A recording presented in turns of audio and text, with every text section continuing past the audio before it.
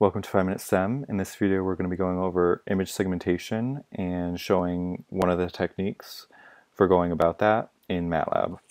Um, as always, I will have a link in the description to my website where you can find this code that we go over today, as well as some additional information. So image segmentation is defined as the process of dividing a digital image into many parts in order to transform the image's data into something that's more meaningful and easier to understand and analyze, both from our perspective and the computer's perspective. So the simplest technique for segmenting an image is through the use of thresholds. So that would be, you know, using some sort of value and based on your pixels value, it could be, you know, if it's less than that threshold value, then let's say it would change to the value of 0, which would be black, or the value of white, which would be 1. So we'll show that example right now first, and then we'll show multiple uh, threshold values. So I am read, we'll read in an image first.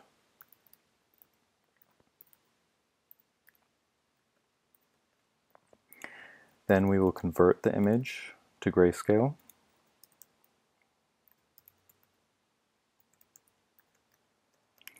Then we are going to calculate a threshold value.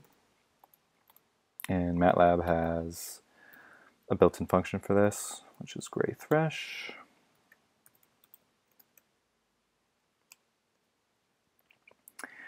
Um, then we will convert the image to black and white using the threshold value. So based off of this value, the pixels will either become black or white.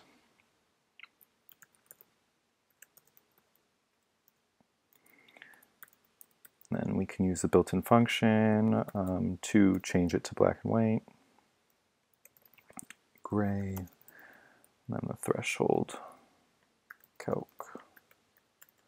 And then I am show pair. I am image thresh.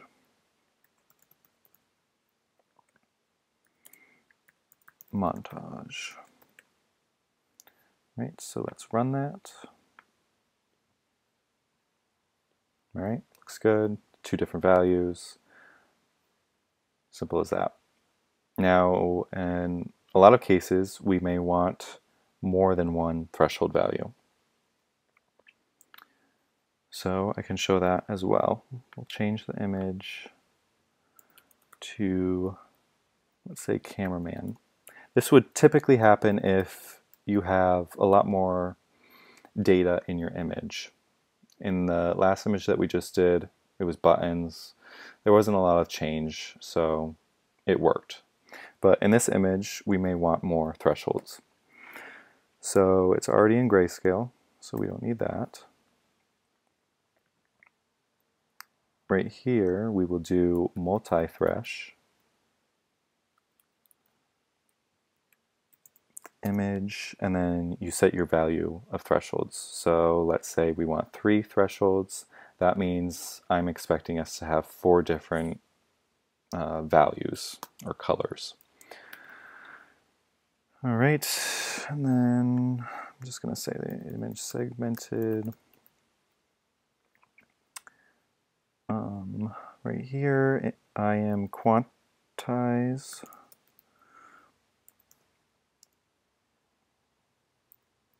This is the built-in function that you use for the multi-thresholds. I am, and then threshold, calc, then image segmented. All right, I think that's it. Let's run it. Oops, forgot. All right, so as you can see, there's a white value, a light gray value, dark gray value, and then a black value. All right, we can change this though to RGB values to make it easier. So I will show you how to do that. It's just RGB equals label to RGB, um, an image segmented. And then we show the RGB. So again, I'm expecting three different color values.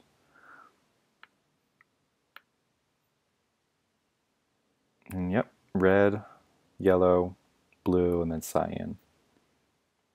And it's as easy as that. That's how you use um, thresholding to segment an image into different